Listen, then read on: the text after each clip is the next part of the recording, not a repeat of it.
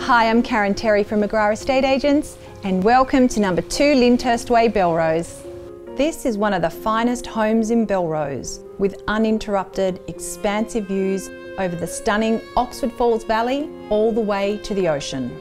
With grand interiors combining indoor and outdoor entertaining, surrounded by level lawns and gas heated in ground swimming pool.